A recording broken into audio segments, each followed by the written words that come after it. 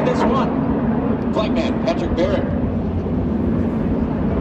All the other young, up-and-coming flight kids